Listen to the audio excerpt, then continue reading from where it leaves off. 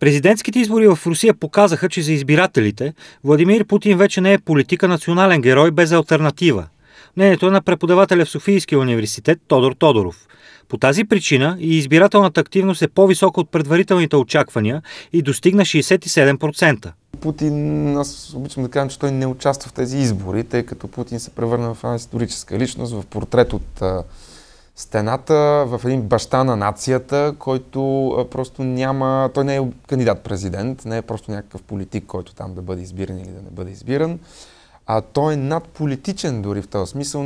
Голяма заслуга за образа на Путин като олицетворение на нацията има външно-политическата изолация на Русия, според Тодор Тодоров. Той изгради този си образ на баща на руската нация, на защитник на Русия, особено покрай, покрай Крим, особено покрай санкциите, които последваха и покрай всякакви такива действия западни, включително сега с скрипа обвиненията за, за отравяне, дойдоха в момент дни преди изборите и имаха напомпващ ефект. Със сигурност някакси укрепиха вътрешните позиции на Путин. От тук нататък пред Русия стои въпросът за бъдещето на страната след Путин.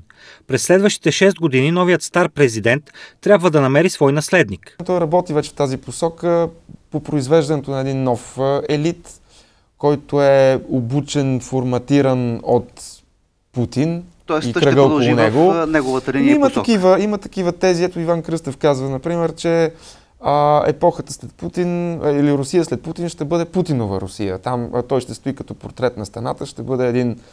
Нали, линията Путин ще продължи. От друга страна, според анализатора не е сигурно, че този мандат ще бъде последен за Владимир Путин.